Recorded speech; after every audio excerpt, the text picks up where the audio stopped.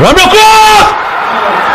খেলনো অগ্রতা তেরো minute Bangladesh pass সুযোগ আছে বাংলাদেশের সামনে। দুই শূন্য Bangladesh. Bangladesh. Two versus one को